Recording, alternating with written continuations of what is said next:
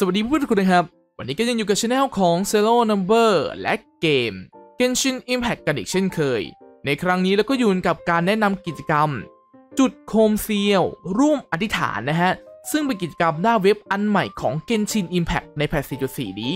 โดยที่กิจกรรมนี้เนี่ยครับ หลักๆก็คือเขาจะให้เรามาทำภารกิจต่างๆ เพื่อที่จะเอาตั๋วไปสุ่มของกันนะครับ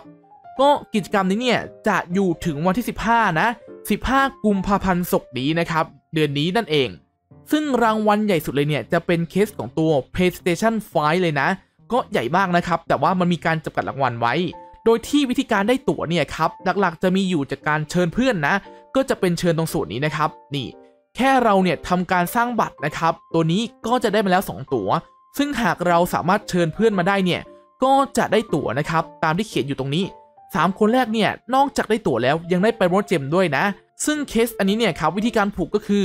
เอารหัสตรงนี้นะครับไปให้เพื่อนแล้วกดผูกคำเชิญตรงนี้นี่นะครับ แต่ผมไม่สามารถผูกได้เนาะเพราะว่าเป็นผู้เล่นนะครับที่ยังเล่นอยู่ปัจจุบัน มันไม่เข้าเงื่อนไขนะครับในการเชิญตรงส่วนนี้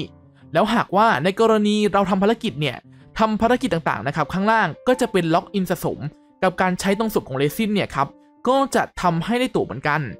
หากว่าเราได้ตั๋วเสร็จแล้วเนี่ยครับให้เราเข้ามาสุ่มข้างล่างตรงนี้อะเป็นรูปการยูตรงนี้นะครับ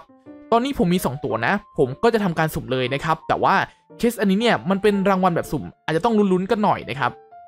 อย่างไรก็ดีตรงส่วนของ p r i m o Gem กับของรางวัลหลาย ๆ อย่างเนี่ยมีจำนวนจำกัดนะ ยังไงก็อย่าลืมมาทำกันล่ะ